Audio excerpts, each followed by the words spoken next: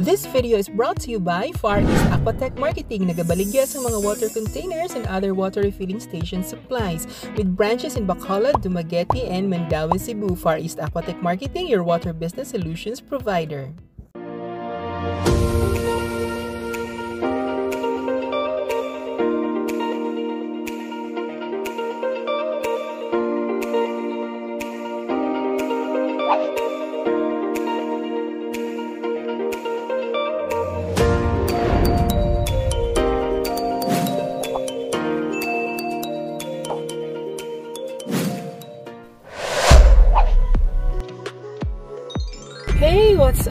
Up mga ka-diaries? Hello Philippines and hello world!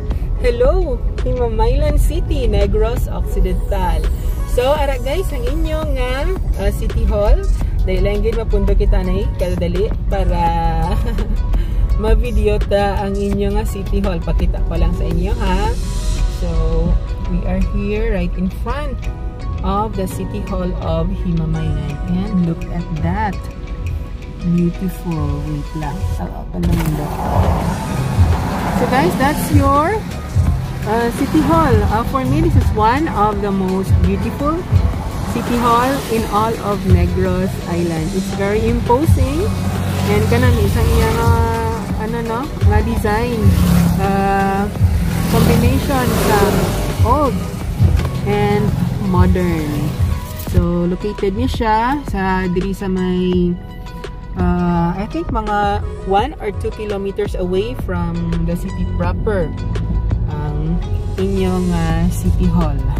So sa mga OFW dira or sa mga Filipinos abroad nga dugay na wala nakapuli diri sa inyong nga syudad that is your city hall. Uh, video uh, today is December 31 2021 New Year's Eve. The time right now is 24 minutes after 3 in the afternoon. Maulan ang panahon subong. Diri sa Negros halin, halin pa sa Bacolod. In fact halin pa sa Dumaguete kagapon. Namo ini ang tiyempo pag halin ko dito. Hasta nang nagabot na lang ko sa Bacolod. And until today pakad ako sa Kabangkalan City. Uh, I'm going to visit some friends just uh, before the year ends. Higdaan ako sa ila.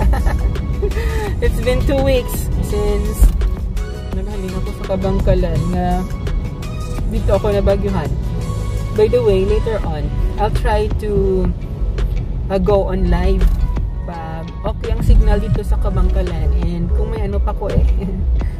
Kung may data pa ko. So itry ko karon nga mag live guys. And uh, dito sa may syudad sang Kabangkalan. So subong uh, ayari kita sa may syudad sa Himamaylan and nag-video ako uh, just to show you sang mga latest din. Update lang, two weeks after uh, this city was hit by Typhoon Odette. Uh, I don't know the extent of damages here, but what I do know is ang damage sa Kabangkalan is grabe. Pag uh, kabalagi kuya kay dito ko nabtan sa Bagyo and uh, the day after pa. Naghalin ako sa Kabangkalan last December 18 pakadto sa Dumaguete City. Uh, naglibot ako sa may Bayawan kay sa may portion sang Mabinay pakadto is may dako nga landslide kag hindi passable ang highway. So it's been two weeks and now I'm back in Bacolod uh, to spend the new year with my family of course. But before that uh, I decided na mapakabangkalan para mag-visit sa ako mga dear friends. So, shout out sa inyo. Miski wala akong galantaw. Miski wala akong galantaw sa ako nga video. Daman nyo lang. Pati ah. And, ariyo. So guys, uh, may mga puno asang kahoy man nga nagkalatumba diri sa Himamaylan. Ah, uh, do ano no, dabuang plus si Odette. kay kapugtak sa iya nga ano kapugtak sa iya nga uh, I think ang hangin sila niya is hindi one, hindi buo. Uh, I don't know how to explain it. Kasi bo kasi. Uh, may mga area ako nga nakita nga tinuparay lang pero ang aapiyak na area wala ano wala damage. Tapos ang like you go like mga 5 kilometers? Grabe ang damage. And you go further pa wala naman sang damage. Mo na pala sa do do ka hindi consistent kung baga I don't know how to explain that. Uh, so amo na siya. Uh, sa gihulngan kadamo ako sang nakita nga amo sina nga nga sistema or nga plastada nga ang isa ka portion ga green gidya as in nga wala lang may natabo but like 2 kilometers from that area uh, puros brown ang kahoy. Pinakalatumba nagkalautod. And then you go further pa another 5 kilometers green na naman liwat. So amo na balado may ginapili si Odette nga one or don't know maybe because of the terrain or topography of the place na basi may mga buntod amo na bala. Or I don't know. I'm not I'm not a uh, scientist hindi ako hindi ako pag-asa person anyway uh, ari na kita sa proper sa Himamaylan City last year I did a vlog here uh, joyride vlog sa Himamaylan actually that was the first vlog nga naghiligay nun ako. See? Uh, before, naga-video lang ako but wala ako nagahambal sa video. But I thought nga, namin siguro kung maghambal, you know, may narration bala para di man boring ato na video. So, and so I did. Nag, nag-narrate ako sa video. But, mga first two or three videos ko siguro, Tagalog ang ako kinahambal. So, uh, this uh, vlog in Himamaylan like uh, last year dito ako nagsugod uh, that was the first vlog na naghiligayon ako or nag-ilonggo and uh, people seem to like it ang mga subscribers ko doon na namian na mag, maghiligayon ako. And so ginpatayin ko na lang maghiligay nun. But the dilemma is kay may mga subscribers man kita, may mga viewers kita na nanhiligay ng speakers like mga Tagalog or from other places uh, like uh, Cebuanos, mga Waray. Although Dogaplo pariho man lang aton nga language pero for the most part digid sila ka-entiende that's why I put subtitles. And by the way guys, guys ma-mention ko lang uh, may generator sila oh. So meaning brown out until now diri wala gid sa kuryente. On New Year's Eve. So okay lang na tuloy po ng New Year. Anyway going back sa ako na ginawa ka lagina with regards to the uh, vlog vlog and mga paghambal-hambal uh, so para maintindihan sa mga viewers ko uh, that are not hiligay ng speakers I put on subtitles. So it's been like that for uh, more than a year. May subtitles gid na English ha? English. Uh, wag, wag ka. English ang subtitle ko. Pero uh, syempre I know naman hindi man na perfect ang akong dira nga ginabutang ang subtitle hindi perfect ang spelling hindi perfect ang grammar so pasensya na don't bash me ha pasensya na hindi ako expert ya sa English language And because of that, sa aton uh, subtitle, uh, we have gained viewers from different parts of the world. Yay! Kasadya, no? By the way, guys, sa Railanga Plaza, oh. So, may mga pictures. May post ako mga pictures. Dira, check na lang sa previous ko mga posts. And, again, going back sa akong ginistorya, we have gained viewers and subscribers uh, who are non-Filipinos. Uh, from the US, from Europe, from Australia, Canada, o di ba? Pang international ang dating natin. Uh, just because of that subtitle, kaya maintindihan na nila. So, amo na. And in fact, uh, nga nabalaan ko na mo na because naga-comment sila. Uh, hi, Dragit, no? Uh, shout out to our foreigner friends and subscribers. Uh, there's so many of you. I can't remember uh, everyone. So, shout out na lang sa inyo tanan. And, uh, amo na, kadamo, kita sang nag-gain nga mga foreigner uh, subscribers. But, lately, the past two weeks, since Odette is wala gid ako kabutang subtitles. So for the past two weeks to my foreigner viewers, uh, for my non-Filipino viewers, I'm so sorry. For the past two weeks after Typhoon Odette, I wasn't able to put subtitles on my videos. I apologize. And I hope you understand that uh, I'm super busy.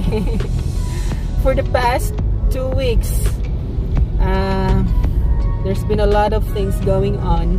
And if I'm gonna put subtitles on my videos, it will take a lot of time. It will give me so much delay to upload my videos and uh, delay means like one week delay on my videos will mean it will lose its relevance.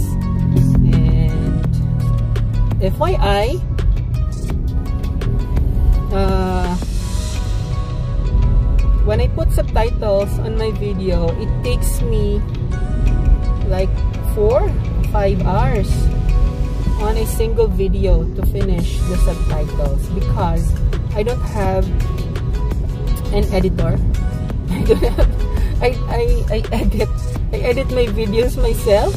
So I, this is a one man a one woman one woman show. And I am the driver I am the videographer I am the editor I am the translator I am the narrator and I am the publisher. So I do all all those things.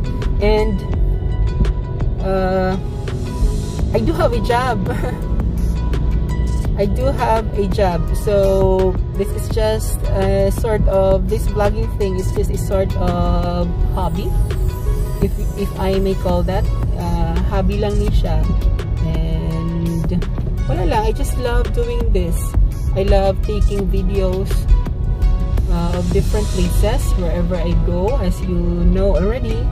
Uh, ang ako nga work my work entails a lot of traveling from into different parts of Negros and Cebu and during my travels just like today I take videos so that I can share it to you here on Facebook and YouTube. So, this is it. Uh, muna ni siya ang result sa ako niya pag uh, video para ma-share ko lang din sa inyo guys. So, I don't even call myself a vlogger. If you can consider me one, then thanks a lot. Uh, I don't call myself a vlogger. Uh, this is just uh, I just love doing this. Ganun lang yon. So, amo na na guys. Mo sa ginahambal ko.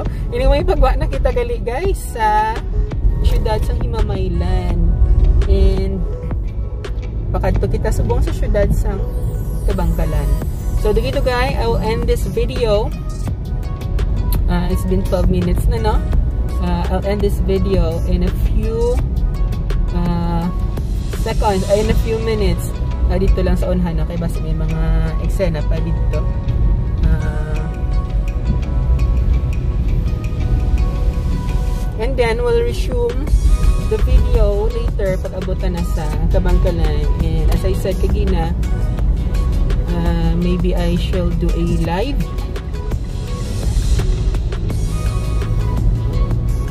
dito sa Kabangkalan pag may uh, signal, pag okay ang signal and pag pag may data pa ako later. So, may na guys. And as we approach Kabangkalan, ano, makita ta ang mga ang devastation diri ni Odette. So, butsilingon, diri gid nga part south ang kusog ang hangin. Kita awa bala ninyo, oh. Fallen trees everywhere. Hmm. Uh, dito ya sa may proper sa Himamaylan it's very fortunate nga wala kayo damage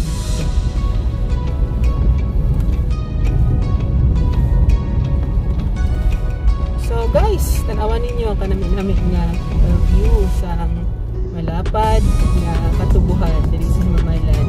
I'll end the video now. Uh, salamat sa paglantaw ninyo. And then we'll resume later dito sa May Kabangkalan City. So guys, thank you so much for watching.